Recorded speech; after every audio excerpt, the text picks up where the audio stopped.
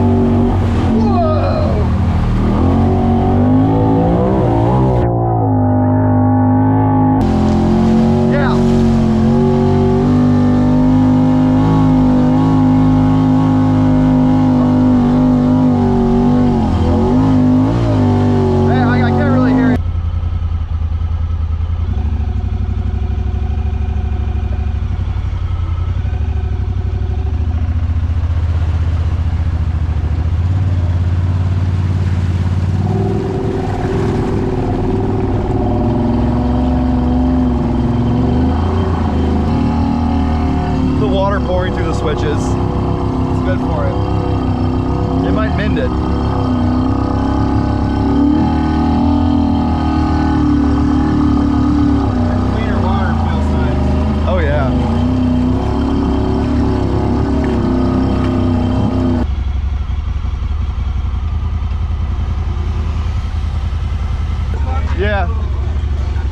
What's up, man? That all the time on. Every- yeah. I told you, it's back there. the gear reduction.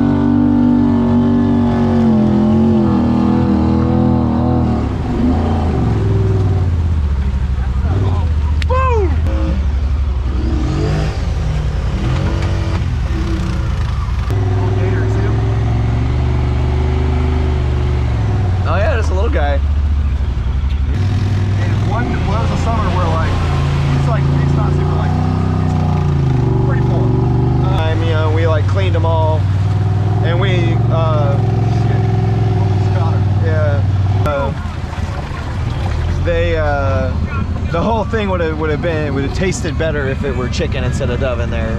So like, I just don't like, if someone's into it, uh, directly in front of us. Because that guy doesn't. That's a two incher. Hey, Christian. Go fuck yourself. I know where we're at now. It looks different. This trail wasn't as wet last time. Dude, this is some nasty shit here.